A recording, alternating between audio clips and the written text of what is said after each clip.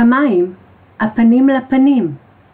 כן, לב האדם לאדם. כתבה ריקי זקן.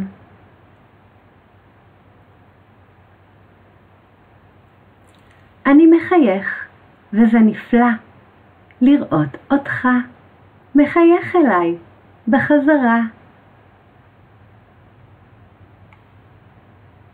אני אוהב, וזה נפלא, לראות אותך, אוהב אותי, בחזרה.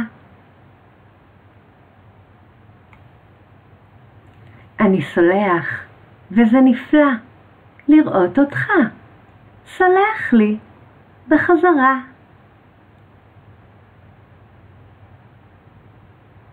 אני חולק, וזה נפלא, לראות אותך, חולק איתי, בחזרה.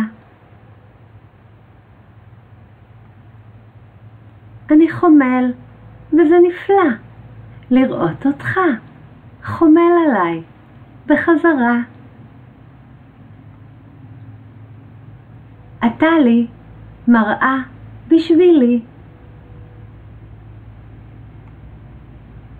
ככה זה חברי, אני רואה בך אותי.